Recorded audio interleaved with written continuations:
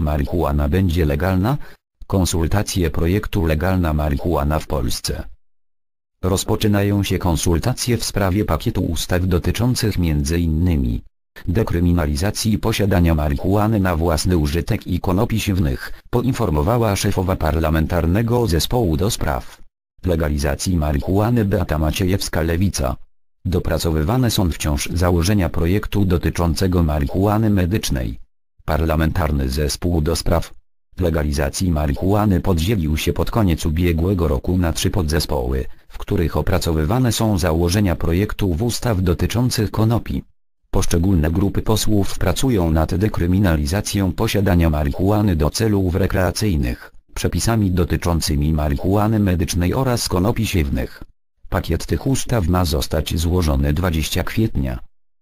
Maciejewska poinformowała, że w poniedziałek rozpoczną się szerokie konsultacje założeń projektów dotyczących konopi siewnych i marihuany rekreacyjnej z ekspertami, instytucjami i organizacjami społecznymi.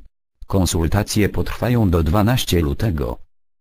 Idą zajęta do więzienia jak mówiła, punktem wyjścia w projekcie dotyczącym dekryminalizacji marihuany jest uprawa czterech krzaków i posiadanie 5 gramów na własny użytek.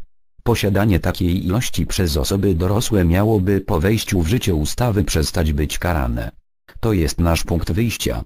W kraju, w którym od wielu lat zakazane jest posiadanie choćby minimalnych ilości, i ludzie idą zajęta do więzienia, potrzebna jest merytoryczna, spokojna dyskusja, podkreśliła. Nie możemy więc szokować społeczeństwa zbyt dużymi ilościami. Zależy nam, żeby propozycja miała szansę przejść. Nie chcemy wylewać dziecka z kąpielą, zaznaczyła Maciejewska. Z kolei podzespół do spraw konopi siewnych prowadzony przez posłankę Urszulę Zielińską-Zieloni, zaproponował, aby dopuszczalna zawartość THC, czyli tetrahydrokannabinolu, głównej substancji psychoaktywnej zawartej w konopiach, została zwiększona do 0,3%. Zgodnie z regulacją przegłosowaną w październiku UB.rok przez Parlament Europejski. Zdaniem Maciejewskiej, Polska powinna też iść w tym kierunku, bo obecnie dopuszczalne stężenie wynosi nie więcej niż 0,2%. Według propozycji podzespołu, hodowca nie musiałby posiadać zgody na uprawę, ale miałby obowiązek poinformowania państwa, że taką działalność będzie prowadził.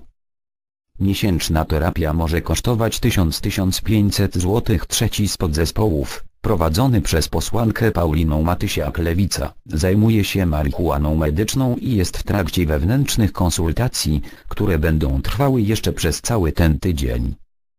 Chcemy przede wszystkim żeby marihuana medyczna była dostępna, w aptekach i cenowo. Dlatego chcemy dopuszczenia upraw w Polsce oraz refundacji leków. Zastanawiamy się w jakiej skali, ale refundacja powinna być zapewniona na przykład w przypadkach padaczki lekoopornej czy innych chorób jak nowotwory, gdzie medyczna marihuana jest stosowana by łagodzić dolegliwości, powiedziała Maciejewska. Na ten moment przy terapii, gdzie ktoś cierpi na przykład na ból, na padaczkę czy na chorobę Parkinsona, miesięczna terapia może kosztować 1000-1500 zł. Stać więc na nią tylko bogatych ludzi.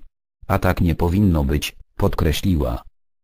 W skład parlamentarnego zespołu do spraw legalizacji marihuany wchodzi 19 parlamentarzystów. Większość stanowią w nim posłowie lewicy, ale jest w nim także dwójka polityków koalicji obywatelskiej, czterech posłów z Konfederacji i jeden niezrzeszony.